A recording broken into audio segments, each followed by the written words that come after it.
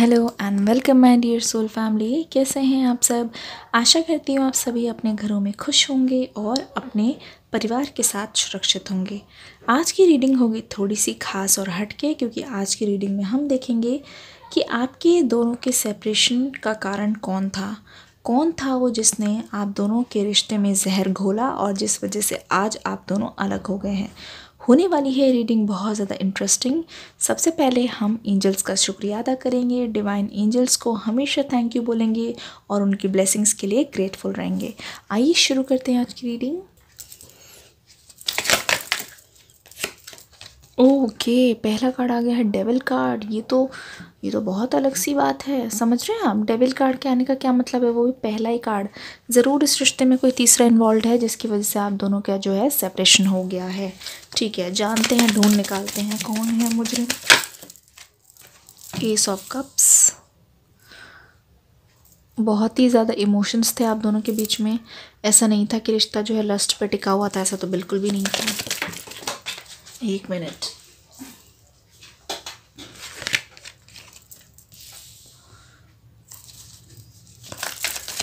अपने पर्सन का नाम लेते रहिए।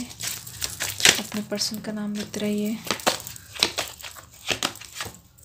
जजमेंट नाइट ऑफ़ वॉन्ट्स एक कार्ड और देंगे एंजल्स हमें गाइड करिए। ओके फोर ऑफ़ पेंटिकल्स देख लीजिए, ये है आपका स्प्रेड और इससे बहुत सारी चीज़ें जो हैं क्लियर हो रही हैं। देखिए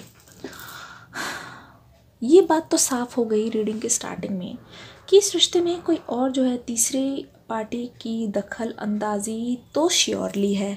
और मुझे ऐसा लगता है ये दखल अंदाज़ी का जो रास्ता है, वो वो उनको दिया गया है। ठीक है? ऐसा नहीं लग रहा है कि वो ज़बरदस्ती आए हैं। नहीं, देखिए, अगर आपसे कोई नया इंसान मिलता है उसके सामने अगर आप अपनी पर्सनल लाइफ को बार बार डिस्कस करेंगे, ठीक है? बार बार सबको बताएँगे तो फिर देखिए, ना चाहते हुए भी वो आपको एडवाइसेस देंगे।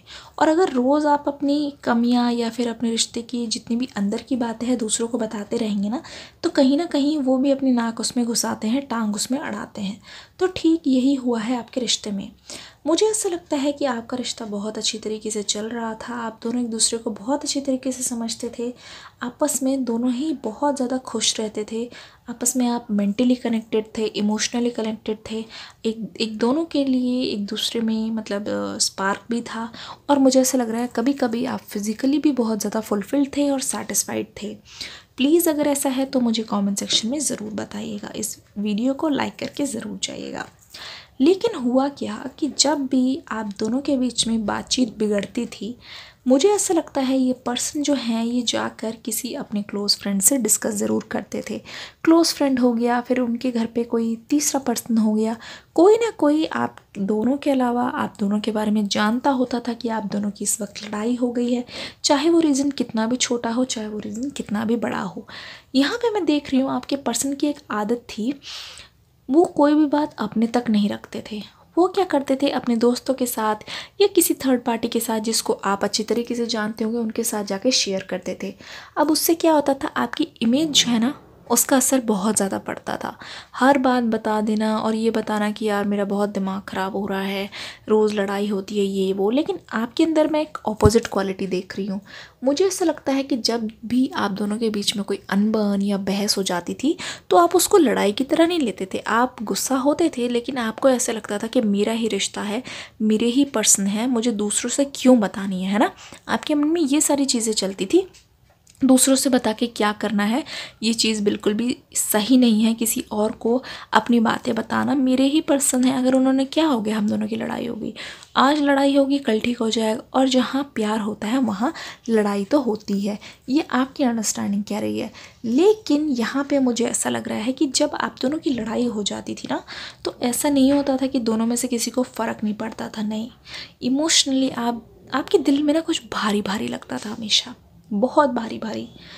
तो ऐसा है कि आपको ना बिल्कुल मन नहीं लगता था। अगर आप जॉब पे जा रहे थे, अगर आप पढ़ाई कर रहे थे उस समय तो आपको हमेशा हैवी हैवी लगता था। ऐसा लगता था कि बस कॉलर खींच के कहते हैं गुस्से वाला प्यार, गुस्से में प्यार जताना एकदम पैशन हो जाता फायरी एनर्जीज हो जाती है कि यार इस इंसान पे गुस्सा भी आ रहा है, लेकिन प्यार जो है उससे भी ज़्यादा है कि वो उस इंसान से रूठा नहीं जा रहा। मन कर रहा है कि बस बुलाऊँ कॉलर पकड़ के एकदम, ये तो एक किस्सी ले लूँ या फिर गले से लगा लो। मतलब उससे भी गुस्सा शांत हो जाएगा। आप, आपकी ये तरीके थे। आप ऐसा ही चाह रहे होते थे हमेशा। लेकिन ये पर्सन ना मतलब कुछ अलग तरीके से बिहेव करते हुए मुझे नज़र आ रहे हैं। दूसरों को जाके बोलना, उनके सामने डिस्कस करना, एक से बात दूसरे के पास, दूसरे से तीसरे की बात जितने ज़्यादा लोग यहाँ पर इन्वॉल्व होते गए तो वहाँ पर जजमेंट भी तगड़ी होती गई। देख लीजिए बात कुछ भी नहीं होती थी। लेकिन जितने लोगों के पास ये बात जाती गई, उतने लोगों के पास ये बात फैलती गई तो उतने लोग अपनी एडवाइस देने लग गए। तो होता इससे क्या था? डिसएडवांटेज यही हो रहा था इससे कि जितने लोग उतनी बातें, उतने मुँह, उतनी बातें। तो हो ये रहा था कि आपकी ना कहीं ना कहीं अगर छोटी मोटी भी लड़ाई हो जाती थी, आपके पर्सन के मन में तो उन लोगों ने पहले से ही जहर घोल दिया था क्योंकि आपके पर्सन ही थे जो अपनी बातें दूसरों को बताया करते थे, जिससे लोगों को ना आप दोनों की जो कमज़ोर कली है वो पता चल जाती थी। तो वो वहीं पे वार करते थे और आपके पर्सन को किसी ना किसी तरीके से भड़काया जाता था। तो इसका नुकसान यही हुआ धीरे धीरे धीरे धीरे करके आप दोनों के बीच में बातें डिस्कस होना भी बंद होने लग गई।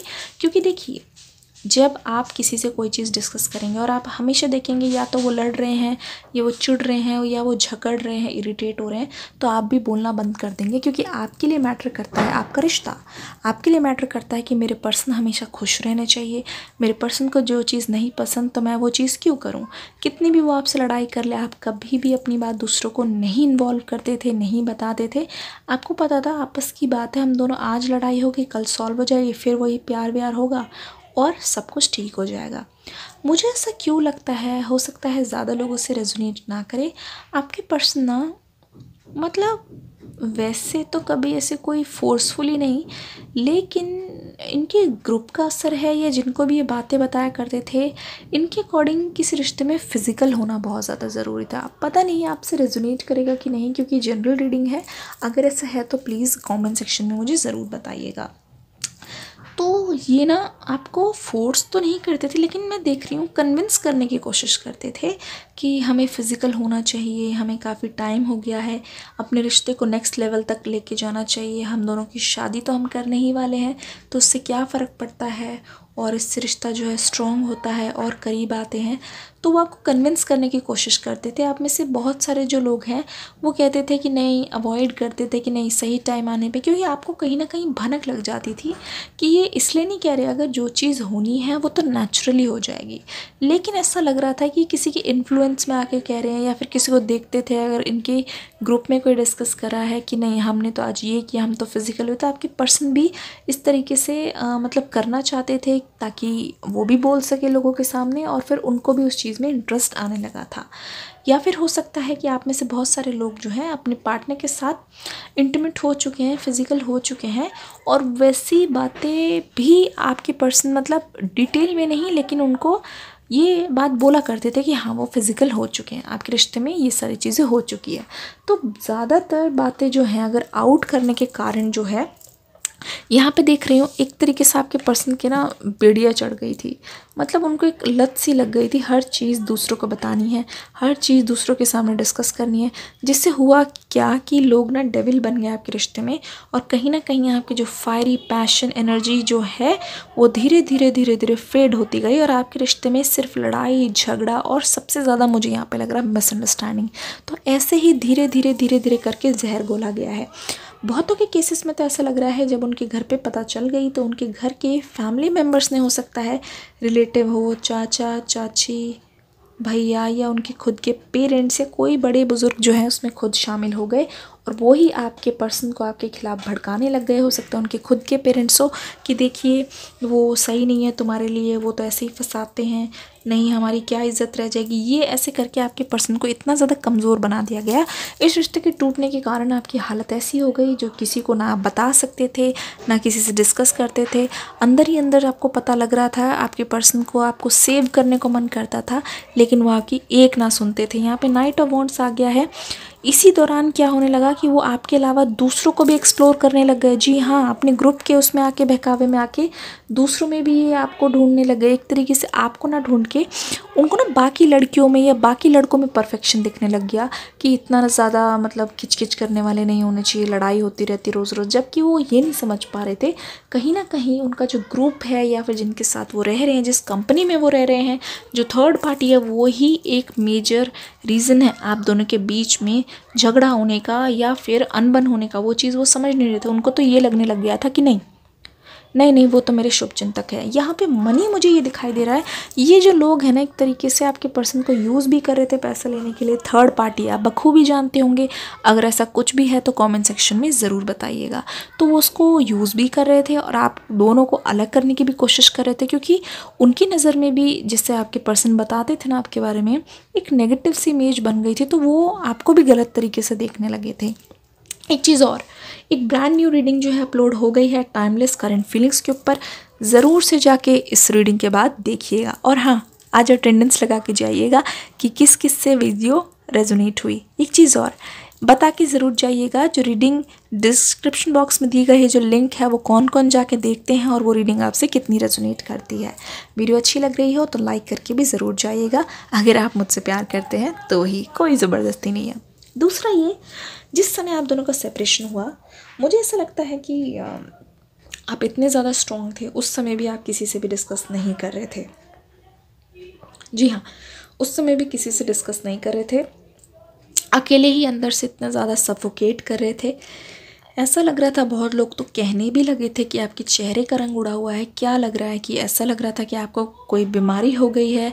आप अंदर ही अंदर से घुटते जा रहे थे, आँसू क्या करें? ना सबके सामने रो सकते हैं, ना कुछ। लेकिन आप कभी भी उनकी जगह किसी और को नहीं दे सकते थे, क्योंकि आपने सच्चा प्यार किया था और आपने अपने प्यार को अपनी आँखों के सामने ही बदलते देखा। आपके लिए सबसे ज़्यादा शॉकिंग दर्दनाक और आपको ऐसा लग रहा था कि पता नहीं क्या हो रहा है। वो टाइम इतना ज़्यादा आपके लिए डिफ़िकल्ट था कि आज भी जब आपकी रीडिंग्स देख रहे हैं तो आपको ऐसा लगता होगा कि पता नहीं मैंने वो टाइम कैसे गुजार लिया, लेकिन वो लाइफ का सबसे ज़्यादा डिफ़िकल्ट टाइम था। आशा करती हूँ आपसे रीडिंग रेजोनेट हुई होगी। इस वीडियो को प्यार देके डिस्क्रिप्शन बॉक्स में जो वीडियो दी गई है लिंक आपको मिल जाएगा नीचे ही। देख कर ज़रूर जाइएगा। मैं मिलूँगी नेक्स्ट वीडियो में। तब तक के लिए god bless you and love you all